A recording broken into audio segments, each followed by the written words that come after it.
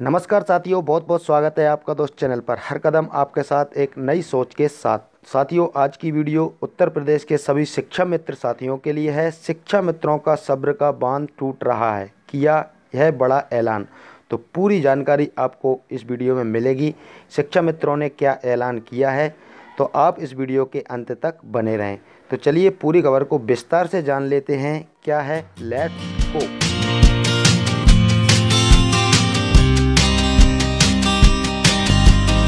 आपका दोस्त चैनल से जुड़ने के लिए सब्सक्राइब करें चैनल को और पास में आएगा बेल का आइकन, उस पर आप क्लिक कर दीजिए। और वीडियो पसंद आए तो जल्दी से वीडियो को लाइक कर दीजिए।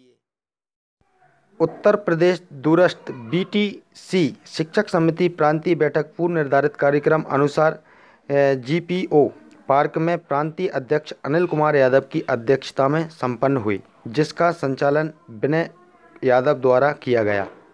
बैठक को संबोधित करते हुए प्रदेश अध्यक्ष अनिल कुमार यादव ने कहा कि लोकसभा के शीतकालीन सत्र में, संसद में उत्तर प्रदेश के शिक्षा मित्रों के लिए कानून बनाए गए। केंद्र सरकार से, जिससे एक दशमलव सत्तर लाख शिक्षा मित्रों का भविष्य सुरक्षित हो सके, तथा उत्तर प्रदेश सरकार व प्रधानमंत्री द्वारा किया गया वायदा व संकल्प पत्र का आश्वासन पूरा हो सके।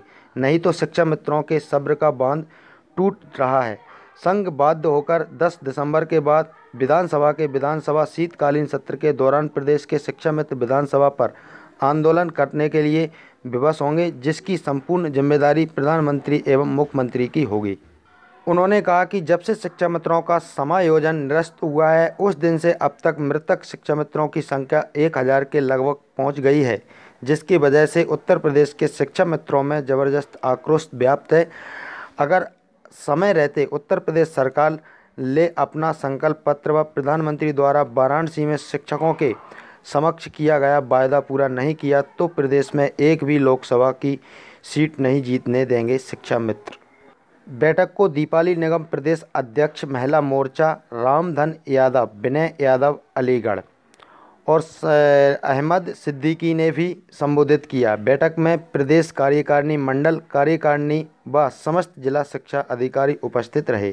तो साथियों, हमारे द्वारा दी गई जानकारी आपको पसंद आई हो तो वीडियो को लाइक करें, शेयर करें और अधिक से अधिक शेयर करें, जिससे सभी शिक्षा मित्रों को ये महत्वपूर्ण जानकारी मिल साथियों, आपसे अनुरोध है, अगर आपने मेरे चैनल को सब्सक्राइब नहीं किया तो सब्सक्राइब कर दें और बेल आइकन को प्रेस कर दें।